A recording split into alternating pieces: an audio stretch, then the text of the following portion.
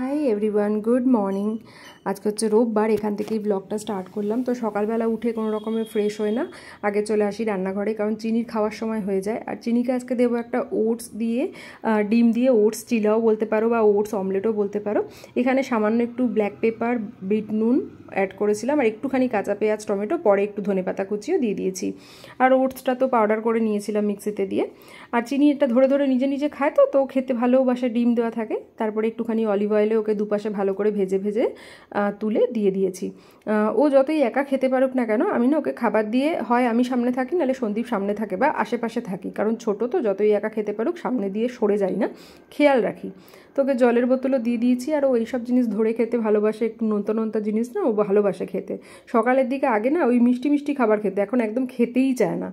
তারপরে এদিকে দেখো রান্নাঘরে আমি যা যা রান্না করব সব গুছিয়ে নিয়েছি, রান্নাঘর খুব ছড়িয়ে ছিটিয়ে নিয়েছি, কারণ আমি একসাথে দু তিনটে কাজ করছিলাম। তো আমাদের ব্রেকফাস্ট বানাচ্ছিলাম, এদিকে রান্নাও শুরু করব এইসবের জন্য। আজকে আর আলাদা করে ব্রেকফাস্ট অন্য কিছু বানাতে পারিনি। ব্রাউন ব্রেড আর পিনাট বাটার খেয়ে নিয়েছি, আর সাথে একটা পোচ তো সন্দীপকে দিয়ে আসব বেডরুমে কারণ চিনি খেয়ে সন্দীপ ওকে নিয়ে বেডরুমে গেছিল। নাহলে না বারবার আমার কাছে চলে আসা রান্নাঘরে না গরম লাগে প্লাস গ্যাস ট্যাস চলে, তাড়াহুড়ো করে কাজ করি, তো ভয় লাগে চিনির কখন ব্যথা পেয়ে যাবে। তো এদিকে রান্না বসিয়েও দিয়েছিলাম। আর আজকে আমি কি রান্না করেছি বলো তো? মাছের মাথা দিয়ে মুগের ডাল। এটা খেতে ভালো হয়েছে। মানে এখন তো খাওয়া হয়ে গেছে বলে বলতে পারছি। খেতে ভালো হয়েছে। সন্দীপ খেয়ে বলছে, অনুষ্ঠান বাড়ি লাগছে পুরো। আর এদিকে নিম নিম মানে বেগুন আর কি, নিম না, বেগুন আর উচ্ছে, তিতো। যেটা রাত্রিরে খাব না, খালি দুপুরেই খাব। আর মাছ যা ছিল তিন পিস ওটাও আমরা খালি দুপুরেই খেয়েছি। সিঙ্কটা এখনও পরিষ্কার করা হয়নি। ভাত উবুর দেবো, তারপরে পরিষ্কার করব। আর কিছু ধরলেই নয়, হাত ধোয়া বারবার আমার বাতিক হয়ে গেছে। চিনির ভাত নিয়ে চলে এসেছি। ভাতটা একটু গরম। তো মাদুরে দেখেছ? ড্রাই শিট টিট সব পেতে রেখেছি। ওকে আগে তেল মাখাবো, দেন ভাত খাওয়াবো।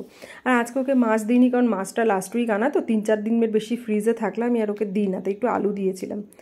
তো ম্যাডামের তো স্নান খাওয়া দাওয়া ঘুম সব দেখতেই পারলে হয়ে গেছে, আমিরাও গিয়ে স্নান করে খাওয়া দাওয়া করে নিয়েছি। সব কিছু করার পর আমি এখন আবার রান্নাঘরে এসেছি, চিনির জন্য একটু ন্যাশপাতি কুচিয়ে স্টিম করব বয়েল না কিন্তু স্টিম করব। আর যেহেতু মানে ন্যাশপাতি আপেল এই ধরনের ফুড ফ্রুটসগুলো না, দেখবে ডাইজেস্ট হতে একটু সময় লাগে, তাই আমি ঠিক করেছি দু বছর হয়ে যাক, তারপরে নয় আমি ওকে দিয়ে দেবো রটা র এখনও দিই, পাতলা পাতলা স্লাইস করে বাট পুরো ফলটা দিই না। মানে কিছুটা দিই, কিছুটা স্টিম করে দিই। আর তারপরে সব কাজ হয়ে যাওয়ার পরে এখন আমি একটু আমার জন্য সময় পেয়েছি, তো আমি আমার স্কিন কেয়ার করে এসেছি। করে টোরে এসে এখন একটু কফি খাবার। এই সময় কফি আমি একাই খাই, সন্দীপ খায় না। তো এখন কফি টফি খেয়ে বিশ্রাম নেব। এখন বেজে গেছে পৌনে সাতটা। পৌনে সাতটা কি ছটা পঞ্চাশের মতন দেখলাম। তো রেডি টেডি হয়ে তিনজনই একটু বেরোচ্ছি। চিনিটাকে নিয়ে একটু ঘুরতেও বেরোনো হবে। আগে প্রায় দিনই বেরোতাম। বৃষ্টি হচ্ছে বলে বেরোতে পারি না, কারণ ও তো ঘরে বন্ধই থাকে। ওকে নিয়ে একটু বেরোলোর ভালোও লাগে। সন্দীপ আর চিনি নিচে চলে গেছে। দেখো, চিনি রানী কি খুশি।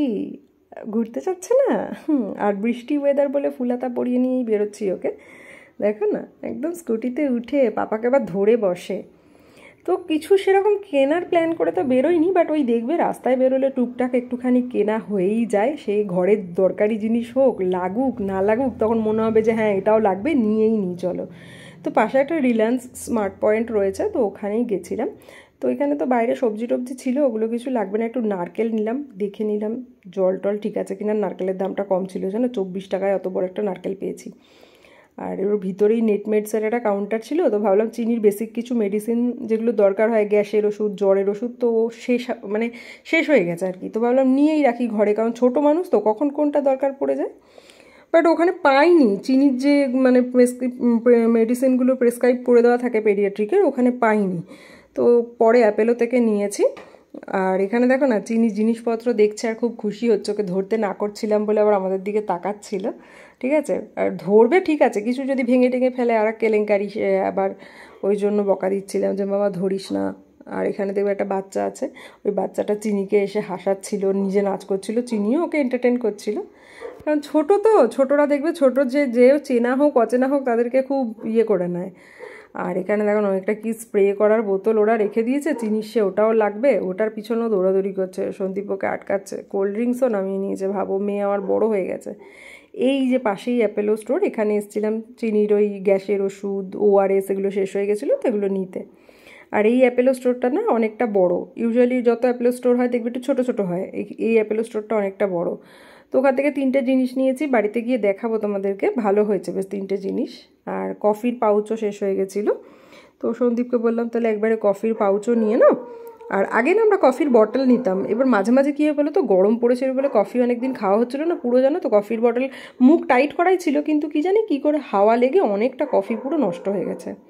আর এখানটায় বাইরে এসে সন্দীপ এখান থেকে জিলাপি নিয়েছে আর সিঙ্গারা নিয়েছে। এখানে তো সিঙ্গারা বলে না, সামোসা। টেস্টও একদম মানে ডিফারেন্ট কলকাতার মতো না। বাট আমার আজকে জিলাপিটা একদমই ভালো লাগেনি। দেখেও ভালো লাগছিল না, তাও সন্দীপ নিয়েছে, খেয়েছি একটু। এই তো টিন চিনির গ্যাসের ওষুধ আর ওআরএস নিয়ে এসেছি।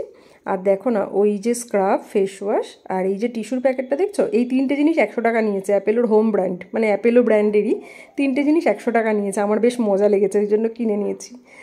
আর তো বাকি পাঁপড়, ঘি, তারপরে ছোলা, নারকেল, সাদা সর্ষে এসব নিয়ে এসেছি।